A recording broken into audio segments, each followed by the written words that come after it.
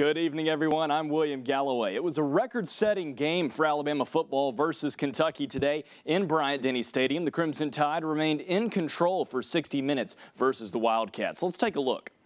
In the first quarter, Najee Harris caps off a six-play, 55-yard drive to put Bama on the board first, 7-0 Tide. Second quarter now, Wildcats attempting a field goal. The bad snap gets away and gives Alabama great field position. So the Tide march down the turf and look to capitalize. Mac Jones has all day to throw right here, and using his footwork is going to strike one to DeVonta Smith. 10 yards. That catch was Smith's 32nd career touchdown reception. He now leads the SEC in career touchdown catches. Big day for Smith, nine receptions, 144 yards, and two scores. Four minutes left in the second quarter. Najee Harris breaks off a 42-yard touchdown run. He had 13 carries for 83 yards and two touchdowns. That one was the longest career touchdown he's had at Alabama. Bama dominates by defeating Kentucky 63 3. That's the largest margin of victory for the Crimson Tide this season. Energy, uh, the intensity, uh, the attention to detail uh, early on in the game was you know, not what we wanted it to be, uh, but I think we played better and better and better as the game went on.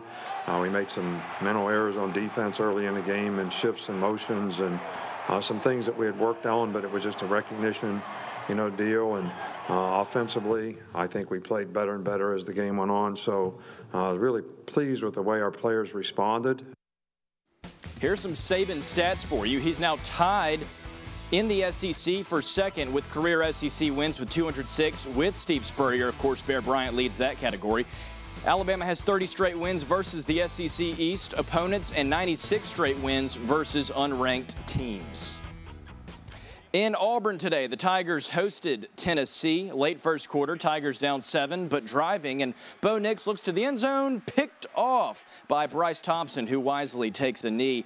But it didn't take long to bounce back. Early second quarter, Nix to the ever so speedy Anthony Schwartz, 54 yards, nobody in his area code, touchdown Tigers. That cuts the Tennessee lead to 10 to 7.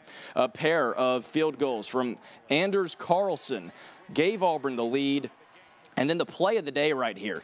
Jarrett Guarantano from the Auburn 12 goes to the end zone, and he's picked off by Smoke Monday.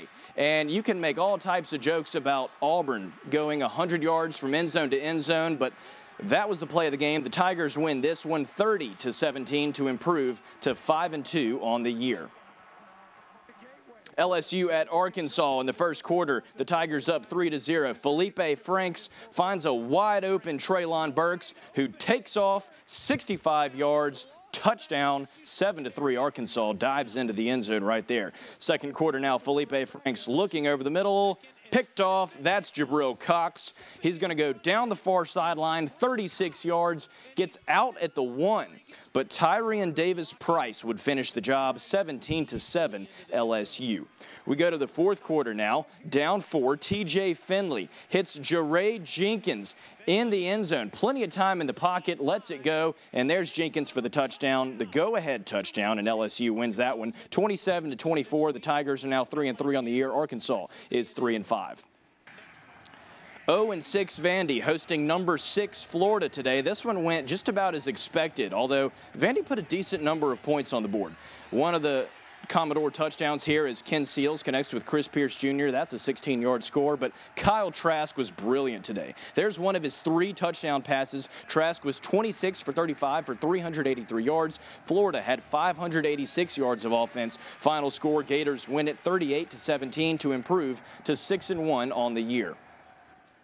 Around the SEC, Georgia beat Mississippi State. Today, that game was in Athens. And Missouri defeats South Carolina in Columbia 17 to 10.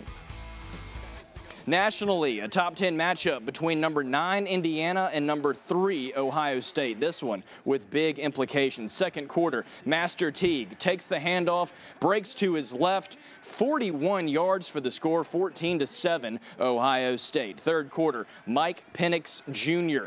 is going to be picked off by Shaun Wade. He goes 36 yards the other way. We'll be seeing you. Touchdown, Buckeyes. Ohio State wins it 42 to 35 and improves to 4 0 on the season. College game day is coming to Tuscaloosa next week for the Iron Bowl. I'll have more on that for you tomorrow night. That's it for sports this evening. I'm William Galloway. Stay with us. We'll be right back after this.